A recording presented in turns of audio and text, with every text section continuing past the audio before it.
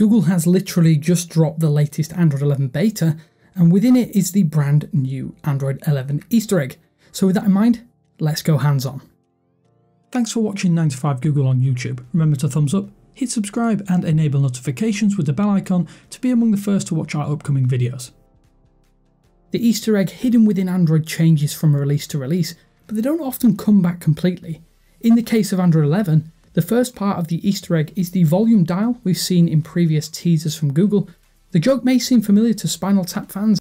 The numbers all go to 11. Look, right across the board. Oh. 11, Oh, 11, and most of 11, the and then amps go up to 10. Exactly. As this one does go up to 11, and it is now finally realised with this release. With the dial itself stopping at 10, but a few more tries later, you can get it to go one more and show the 11 logo. After the 11 logo appears though, you'll see a cat emoji in a toast message at the bottom of the screen.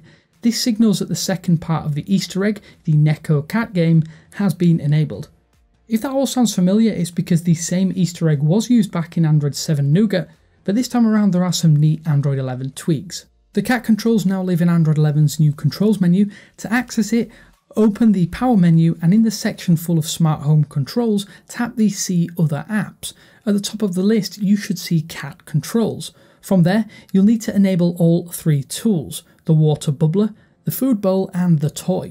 After those have been enabled, the process of actually getting a cat takes a little bit of trial and error. You'll need to fill the bowl and water bubbler, then play with the toy a few times.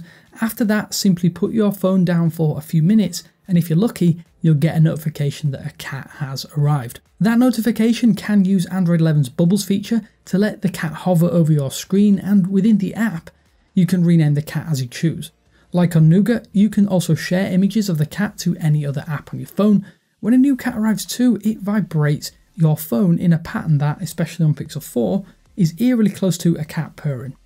And there you have it, the Android 11 Easter egg borrowing some Nougat but utilising a ton of 11 exclusive editions. Let us know what you think down in the comment section below. But until next time, this is Damien with 9to5 Google saying thanks for watching and I will speak to you later.